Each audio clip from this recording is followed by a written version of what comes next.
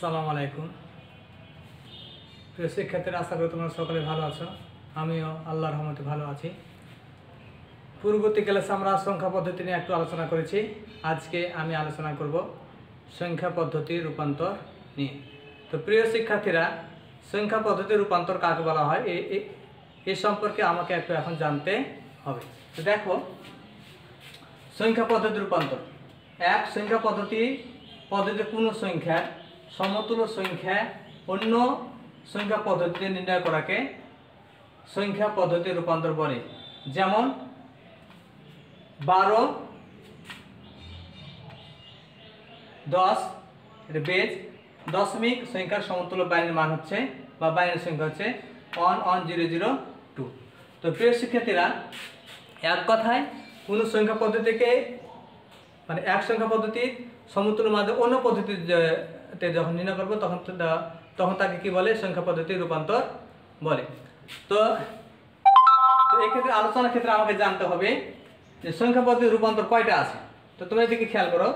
দশমিক থেকে বাইনারি দশমিক থেকে অক্টাল দশমিক থেকে হেক্সাডেসিমাল মানে এটা একটা মানে রূপান্তর। আবার বাইনারি থেকে দশমিক অক্টাল থেকে দশমিক হেক্সাডেসিমাল থেকে দশমিক, এটা একটা জানলে হবে। আরেকটা আমাদেরকে জানতে হবে অক্টাল থেকে বাইনারি বাইনারি থেকে অক্টাল হেক্সাডেসিমাল থেকে বাইনারি বাইনারি থেকে হেক্সাডেসিমাল এবং অক্টাল থেকে হেক্সাডেসিমাল এবং হেক্সাডেসিমাল থেকে বাইনারি তো প্রিয় শিক্ষার্থীরা, এখানে এটার ক্ষেত্রে একটা নিয়ম জানলে হবে, আবার এটার ক্ষেত্রে একটা নিয়ম জানলেই হবে, আর এটির ক্ষেত্রে একটা নিয়ম আমাকে জানলেই মানে আমাদের জানলেই চলবে। তো প্রিয় শিক্ষার্থীরা তো প্রথমে আমাকে জানতে হবে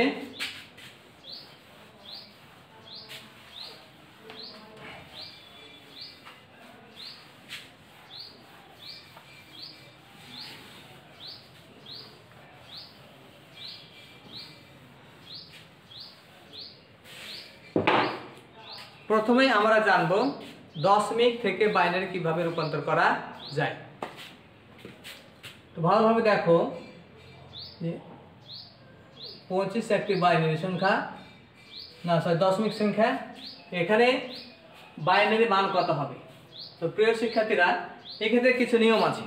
ভালো করে খেয়াল করো। পঁচিশ সংখ্যাটাকে পঁচিশকে আমরা বাইনারি বেস দিয়ে ততক্ষণ পর্যন্ত ভাগ দিতে থাকব। যতক্ষণ না ভাগফল অংশটা কি হয়? শূন্য হয়। ভালো করে খেয়াল করো। পঁচিশ এই দশমিক সংখ্যাটাকে আমি বাইনারি বেস দিয়ে দুই দিয়ে, বাইনারি বেস দুই দিয়ে ততক্ষণ পর্যন্ত ভাগ দিতে থাকব। যতক্ষণ না ভাগফলের অংশটা বা ভাগফলের কলমটা কি হয়? শূন্য হয়। ভাগফলের কলম আমরা এখানে লিখব আর ভাগ শেষের কলম আমরা কোথায় লিখব? এখানে লিখব। তো দেখো, বারো দুগুণা চব্বিশ ভাগ শেষ ওয়ান এটা কিন্তু মাইনাস নয়, এমনি একটা দাগ। ছ দুগুণা বারো ভাগ শেষ জিরো। তিন দুগুণা ছয় ভাগ শেষ জিরো। দুই কে দুই ভাগ শেষ ওয়ান। জিরো দেখো,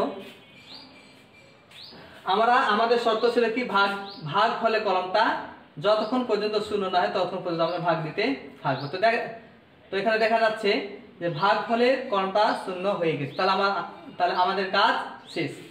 এটাকে বলা হচ্ছে এম এস বি এটাকে বলা হচ্ছে L S B M S B মানে কি? মোস্ট সিগনিফিক্যান্ট বিট অর্থাৎ বেশি বা অধিক গুরুত্বের অঙ্ক। এটাকে বলা হচ্ছে এল এস বি অর্থাৎ লিস্ট সিগনিফিক্যান্ট বিট অর্থাৎ কম গুরুত্বের অঙ্ক। আর এটা যেহেতু পূর্ণ সংখ্যা এই দশমিকটা পূর্ণ সংখ্যা সেহেতু নিচ থেকে উপরের দিকে যাবে।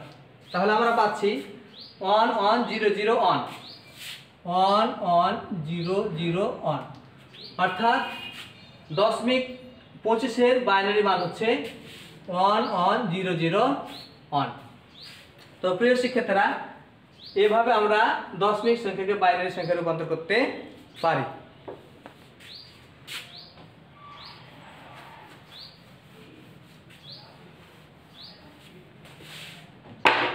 আবার আমরা যদি ভগ্নাংশ সংখ্যা দিকে দেখি তাহলে একটু খেয়াল করো। এটা হচ্ছে দশমিক দশমিক সংখ্যায় এর বাইনারি কত হবে? ভালো করে দেখো, এটারও কিন্তু একটা সুন্দর নিয়ম আছে। তো দেখো এদিকে, নিয়মটা হচ্ছে আমরা এই সরি আমরা এই দশমিক দশমিক সংখ্যাটাকে বাইনের বেজ দিয়ে ততক্ষণ পর্যন্ত গুণ দিতে থাকব। যতক্ষণ না ভগ্নাংশের কলমটা কি হয়? শূন্য হয়। যতক্ষণ না ভগ্নাংশের কলমটা শূন্য হয়।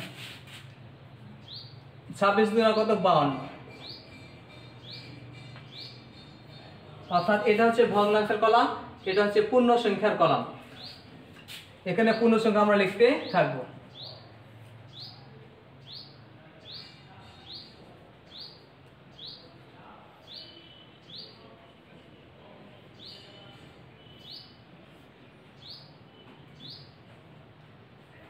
প্রিয় শিক্ষার্থীরা, আমরা দেখতে পাচ্ছি এখানে যে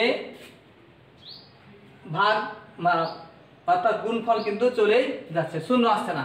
তো এক্ষেত্রে আমাকে কি করতে হবে? কমপক্ষে তিন থেকে চারটা বা চার থেকে পাঁচটা আমরা পাঁচবার গুণ করব আর গুণ করা আমার দরকার নেই। তাহলে এখানে বলা হচ্ছে যে এটা হচ্ছে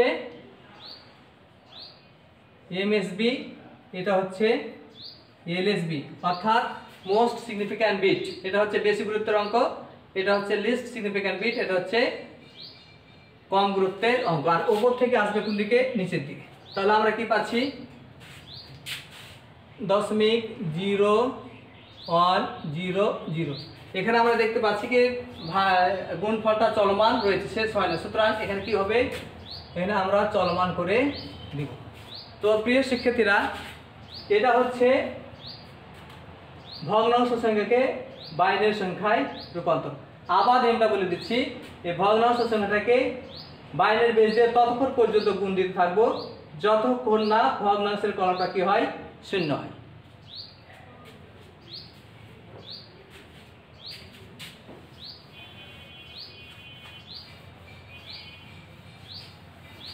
এবার আমরা দশমী ভগ্নাংশ এবং দশম বিন্দু নিয়ে আমরা একটা রূপান্তর করে দেখি।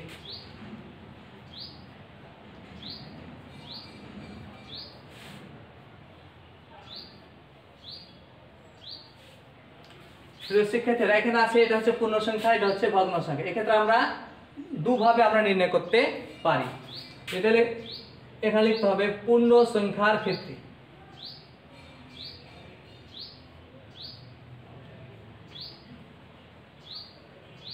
পূর্ণ সংখ্যার ক্ষেত্রে।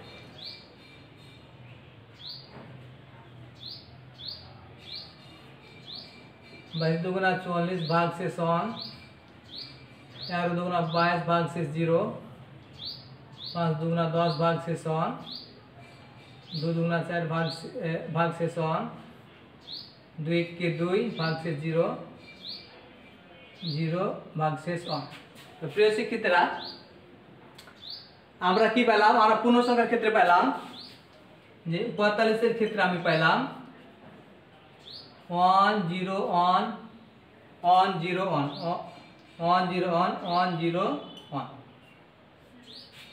এখানে আমি করব ভগ্নাংশ সংখ্যার ক্ষেত্রে। ভগ্নাংশ সংখ্যার ক্ষেত্রে।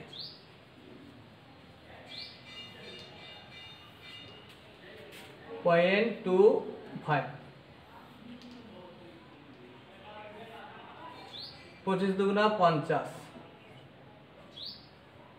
পূর্ণ সংখ্যা হবে জিরো। পঞ্চাশ দুগুণা একশো।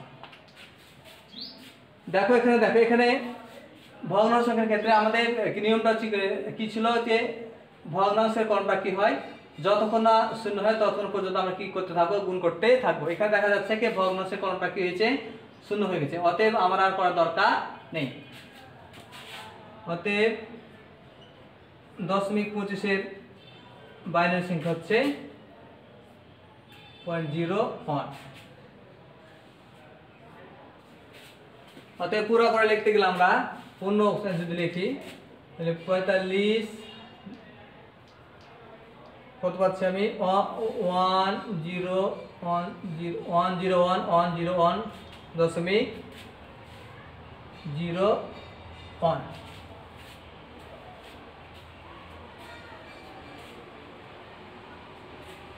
তো প্রিয় শিক্ষার্থীরা, এভাবে আমরা দশমিক সংখ্যাকে বাইনারি সংখ্যায় রূপান্তর করতে পারি। আবার আমরা যদি দেখি,